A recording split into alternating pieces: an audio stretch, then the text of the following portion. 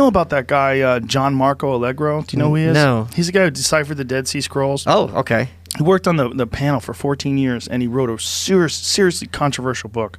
He was an ordained minister. Then he started studying theology and he was like, this is all fucking crazy. Like, what is this? So he became agnostic and he wanted to look at the etymology of the words. Okay. And so he it was his conclusion after 14 years that the entire Christian religion was a gigantic misunderstanding.